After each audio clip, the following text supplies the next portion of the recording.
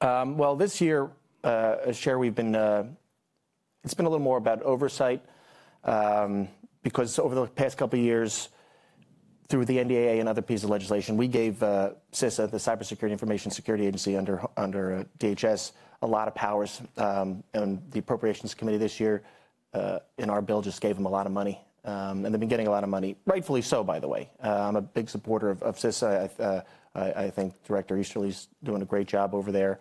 Um, I wish the administration would let her be a little bit more of a leader publicly. I think that's a, an issue right now where we don't have, if, if there was a big cyber attack tomorrow, you don't actually have, I don't know who the, who the administration would put up as, okay, this is the go-to person. Mm. It's a little bit of a mess over there right now, but I think she's great. Um, so oversight is, it, our oversight is, when, when I say oversight, I mean making sure that they have the ability and, and the assets that they need to do the jobs, do the work that we've already given them authority to do. Um, there's a lot of different programs out there, uh, but that's a big thing we've been doing on workforce development is another huge thing that we've been focusing on, trying to figure out how uh, to fill the cyber workforce uh, deficit.